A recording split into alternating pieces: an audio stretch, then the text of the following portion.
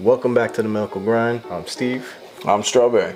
And today we're going to be making one of my favorite things to make uh, when fall starts pumpkin bread. It looks delicious. And it smells really, mm-hmm. really nice too. As it was baking and that smell started pouring out, that was pretty, pretty nice for about 30, 40 minutes. yep.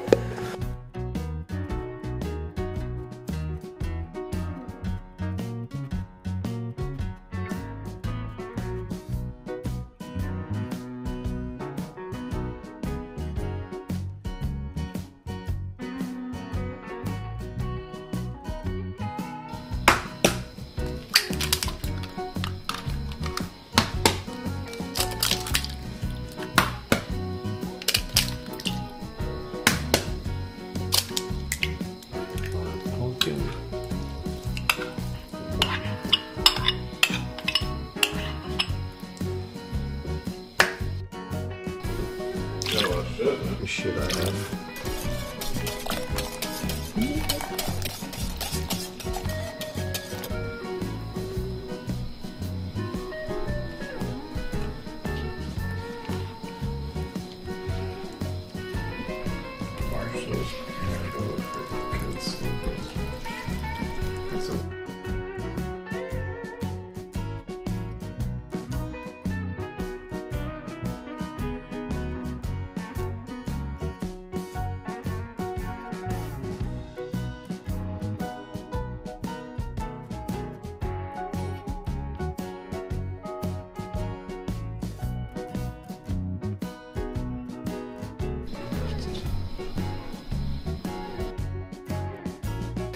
All right, like it looks so nice. I don't want to cut it.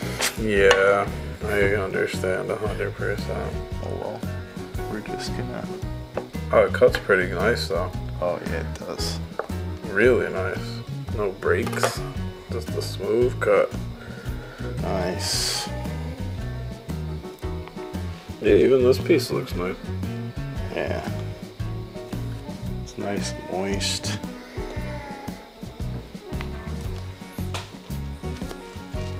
Not a bad job. And this is not out of a box. No, no, no. We don't do that shit. This is good. yeah, this.